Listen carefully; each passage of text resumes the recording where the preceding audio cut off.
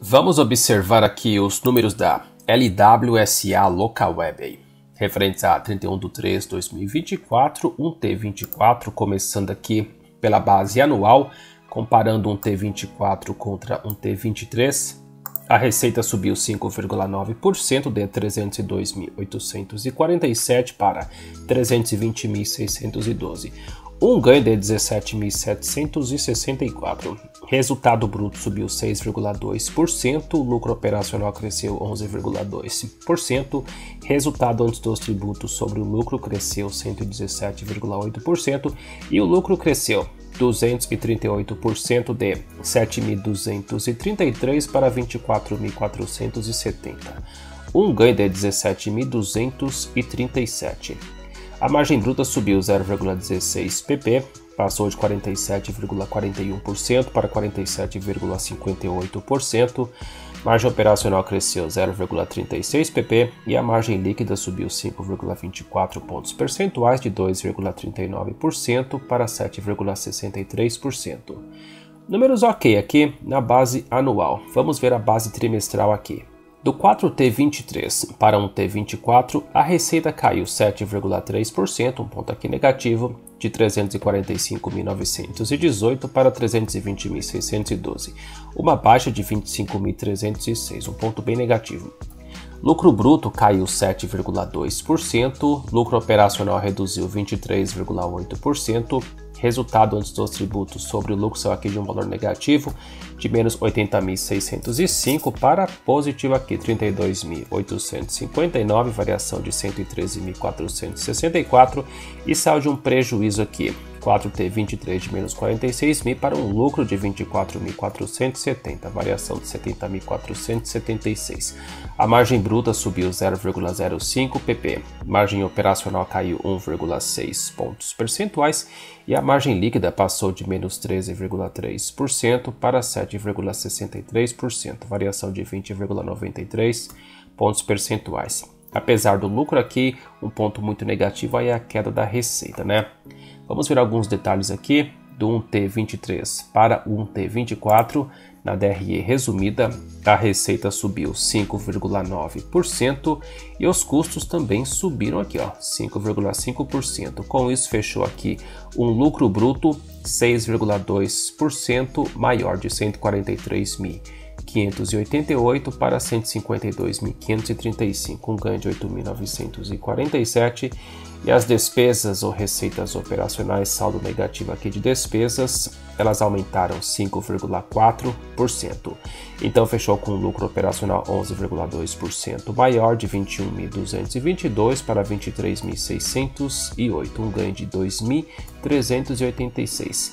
Adicionando aqui Resultado financeiro líquido 1T23, despesas financeiras de menos 6.133 para receitas financeiras no T24 de 9.251, variação de 15.384, fechou aqui resultado antes dos tributos sobre o lucro 117,8% maior de 15.000 para 32.859, um ganho de 17.770 adicionando imposto de renda e contribuição social, fechou um T23 com lucro de 7.233 para 24.470, um ganho de 238,3% ou 17.237. Observando aqui, tudo parece perfeito, maravilhoso, né? Porém, tem essa variação negativa, essa queda de receita aqui, né? na base trimestral. E também temos que ver os indicadores, né? né? Porque melhorou aqui, aparentemente melhorou na base anual, tudo certinho, tá tudo certo. Vamos ver alguns indicadores aqui então. Lucro por ação no T24, 4 centavos. Receita últimos 12 meses, 1 bi 310 mil, com prejuízo aqui últimos 12 meses de menos 56.498. Está com prejuízo aqui, últimos 12 meses. Margem menos 4,3%. Prejuízo por ação, últimos 12 meses, 9 centavos. Valor da ação utilizado para os cálculos, R$ 4,90, com pele negativa aqui, menos 51,77, últimos 12 meses. Um ponto bem negativo aqui também. E eu acho um PSR muito elevado, hein? PSR aí, valor da ação em relação à receita, bem elevado esse PSR aí em relação aos resultados aí que ela vem entregando, hein? Então eu não gosto desse PSR aqui não, tá muito alto na minha opinião, para os meus padrões.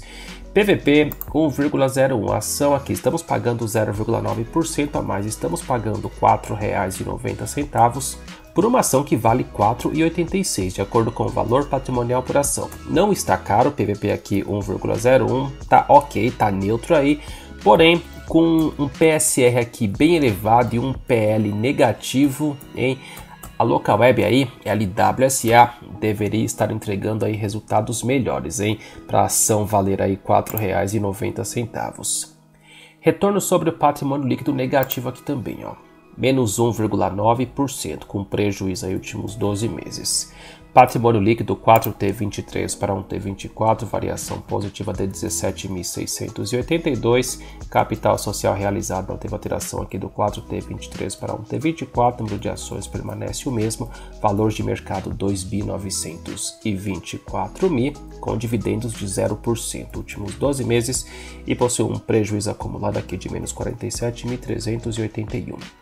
Ela tem dinheiro, hein? Tá com uma dívida líquida negativa aqui, ó, caixa positivo 1 bi 051 mi e um patrimônio líquido bom de 2 bi 899 mi e o dinheiro no caixa aí, né? Só falta converter tudo isso aí em melhores resultados, hein? Vamos ver aqui então a variação do valor das ações. Elas começaram em 2024 valendo R$ 5,57, com base na cotação R$ 4,90 uma queda de 67 centavos, ou menos 12%.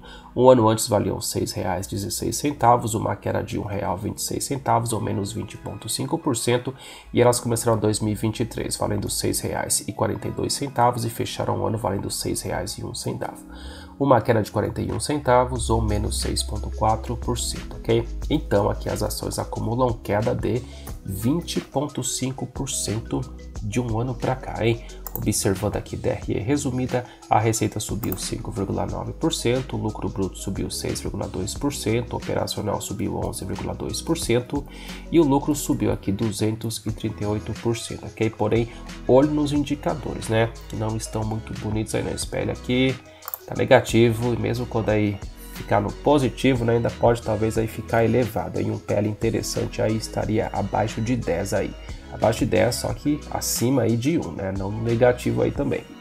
Vamos ver aqui então o gráfico, comecinho aqui 2024, dia 2 de janeiro, aí começou o ano embaixo e foi subindo aqui, né?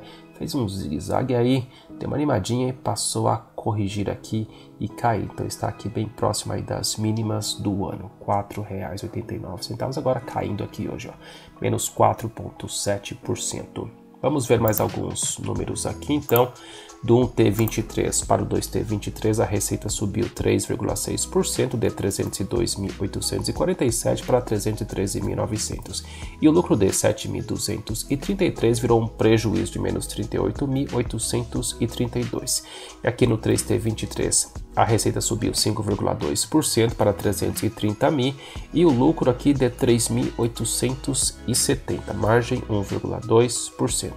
Aqui no 4T23, a receita subiu 4,8% para 345.918 e um prejuízo aqui de menos 46 mil. E aí já observamos aqui no 1T24, olha aqui na curva da receita sempre, independente de lucro, sempre olho na receita. Muito obrigado por sua atenção, desejo muita boa sorte para você, sucesso para todos e até a próxima.